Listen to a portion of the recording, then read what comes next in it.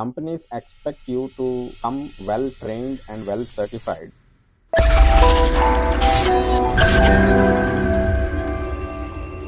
I recently graduated from Concordia. I did masters in software engineering. I don't have any prior experience. I only have few months of uh, internship experience. So I'm targeting all the fresher roles in software engineer, software developer, front end, back end, Java. But I'm not getting any response. I don't know what approach I should take. Like, I don't What was your past education Past, I did bachelor's in computer science and engineering, and what is the course you have done here? uh, software engineering. And uh, when did you pass out? Uh, June 2025, recently. recently. If you apply for Java developer, Python developer, front end developer, back end developer, full stack developer, then it is going to be again problem.